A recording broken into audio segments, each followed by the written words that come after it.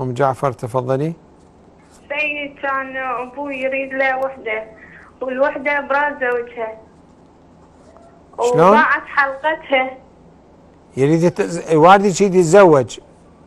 لا مو يريد يتزوج. ها. يحب له وحدة والوحدة متزوجة. شنو الطريقة هذه؟ لا إله إلا الله. والوحدة ضايعة حلقتها وقالت له اذا لقيتها اخذها الك استغفر الله ربي أتوب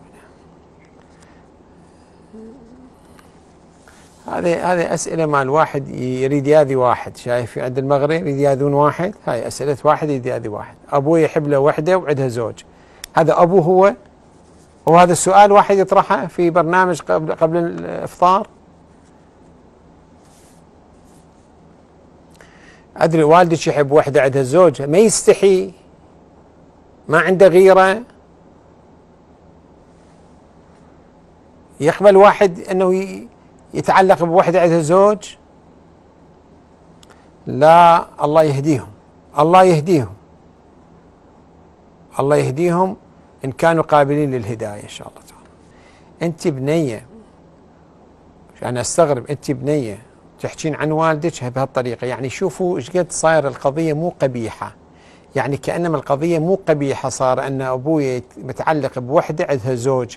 كأنما قبحها زال وأن كأنما القضية عادية. شكوا بيها؟ خلينا نسأل عن القضية هذه.